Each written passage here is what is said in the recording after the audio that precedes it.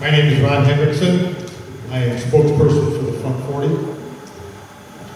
The perfect permit application was supposedly filed by Aquila Resources with the DEQ in November of 2015.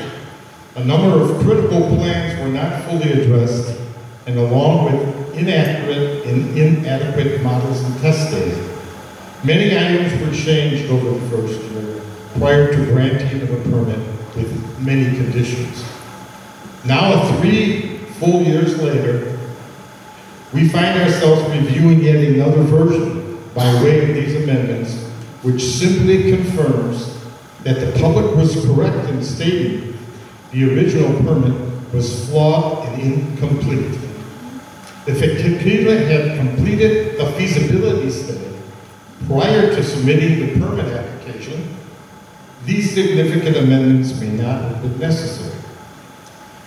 Why are these amendments still written with terms such as will be provided, must be obtained, and shall be determined? Are the plans ever final?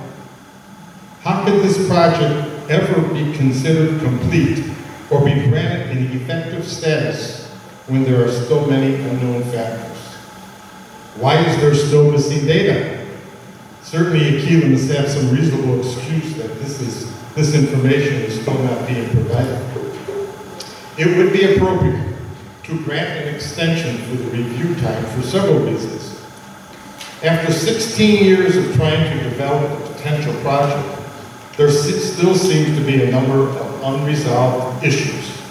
The Front 40, along with other concerned groups, have commissioned to have a technical review of this amendment. Access to the 904 pages of documents was not user-friendly. The public cannot read or comment on that which they cannot find. The amendments were filed in the holidays when this material could just have easily been filed in January of 2019 and filed as a complete proposal.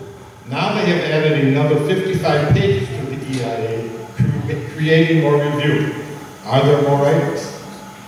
And lastly, perhaps it would be beneficial to the DEQ and the public for the DEQ to rescind the entire permit application, have the applicant rework and refile it properly formatted with all the data material in one complete and organized application